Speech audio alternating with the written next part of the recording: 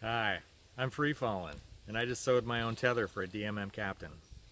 Now while you're warming up your fingers to let me have it down in the comments for posting things that are unsafe for people to use, can we talk just for a minute about home sewing your own equipment?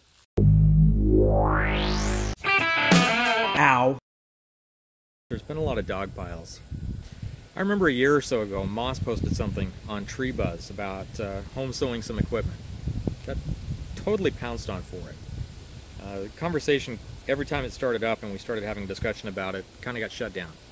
Last week on Tree Life, Joey Cap posted something that, for a lot of people, looked like a pretty sketchy sewn eye. Eventually, he got kicked out of the group for it. So I'm really hesitant to post this video. First of all, it's a bad idea. I know people start out like I started out thinking, hey, maybe this is a cheap way to make your own equipment. You don't have to pay all the high store prices to get something safe. Unfortunately, what I've learned is it doesn't really work that way. I'm pretty handy with a sewing machine. I've sewn a lot of things. This project in particular is two years in the making. Uh, trying different sewing patterns, trying different threads, trying different combinations, trying different sewing machines. And it turned in from a project of making equipment into a project of seeing what are, what's the capacity of a home sewing machine and could it actually meet safety standards. I wanted to show this to everybody. I'll do some climbing on it later and, and film that, but I, I, wanted to show you what I made while it's all still nice and clean and pristine. So this is the captain hook. It's great for work positioning, it's great for traverses. When you tie a knot onto it, like a triple fisherman's, people complain that the knot gets hooked up uh, when you're pulling it back over the branch, and it makes it harder to get the, the hook positioned right and stay in position because the knot sometimes will, will twist the hook as it, as it comes off the branch and and mess you up. So I wanted something clean that would match the profile of the hook, but I also wanted something that would allow me to position the hook once it's over the branch. And this is done usually by twisting the rope like this. And you can see you can, you can position that hook so that when you pull it back over the limb, uh, it's going to hook for you. So I sewed this. If you want to know some of the technical details behind this crazy idea of mine to sew this at home, the thread I used, T70 bonded nylon thread. Breaking strength is around 19 pounds. So in theory, each stitch can hold about 19 pounds of weight. In actuality, the math never works out that way.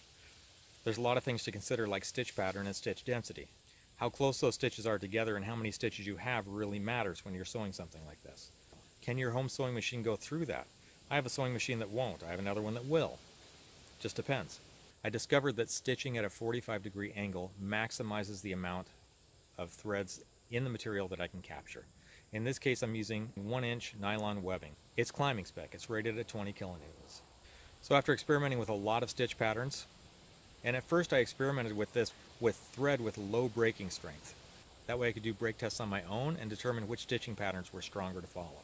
Before I hung off this thing, the first thing I did was go out and get a break test done. Here's the result.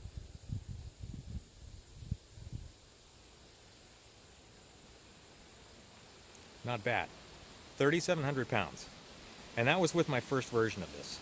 Since then, I updated the stitching pattern, I increased the density, and I made the overall strap a little bit longer. Now I think I'm up around 18 kilonewtons in, in maximum breaking strength, which, that's the same thing the Captain is rated at.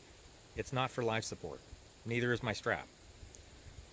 Use it for traversing, use it to get over the other tree, don't use it to hang off of. If it breaks at any point, you're in for anywhere from a mild to a nasty swing, but you should never trust your life with it. It's the same thing with the strap, not for life support.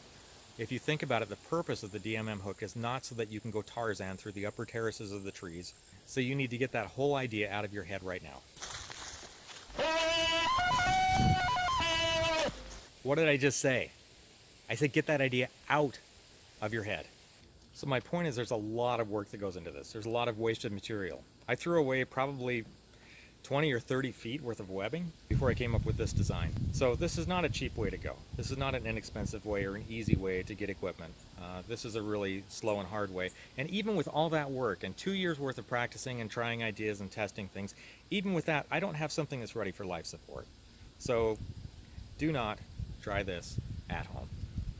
I'm gonna take it up in a tree later. I'll film it. I'll show you guys what I'm doing. I've got a bag to show you too though. I started looking at mag bags, I didn't see a design I liked, so I made my own. Also not for life support. Thanks for watching. Hope you enjoy these things. Leave any hate down in the comments, and uh, please subscribe. Or don't. I don't care. Maggie, do you care? No. Maggie doesn't care. Sorry. Climb safe.